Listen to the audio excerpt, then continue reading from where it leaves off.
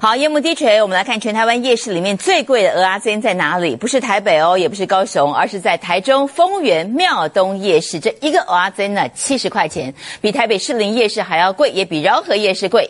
那很多消费者都觉得有这么贵，为什么呢？当然，这个业者很多解释，原物料上涨等等。但问题是，很多人边骂还是边吃。这个庙东夜市，它的知名度、人气、排队小吃的欢迎程度，一点也不输给台北。鹅啊在煎盘上滋滋作响，加上了太白粉，还有大把的蔬菜。这传统的蚵仔煎菜单上的价格却让民众好傻眼。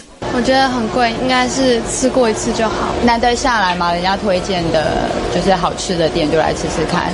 台中丰原庙东夜市一份鹅啊煎要价七十块，堪称全台最贵。每样东西都是上上架啊，像鹅啊平常就是一百一左右，现在超一百八。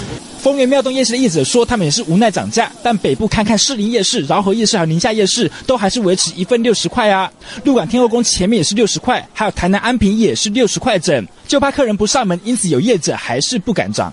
因为经济那么差，大家都没钱呐，他说哎呀少赚一点呐。鹅啊真要便宜，就到彰化王宫或是云林台西，一份五十块，产地直送的原因，因此价格当然少一些。再来看看庙东夜市其他小吃，排骨面七十块，卤肉饭三十五块。事实上，庙东夜市不止假日涌进了大批游客，还有更多的知名排队小吃，连美食节目也是必拍必到的庙口小吃景点，一点也不输给台北士林夜市。这好吃的蚵仔煎一口气涨到了七十块，比士林夜市还有饶河夜市还要贵十块。就算位置在台中丰原，这七十块的蚵仔煎挑战消费者的接受度。记者公寓的叶依莹台中报道。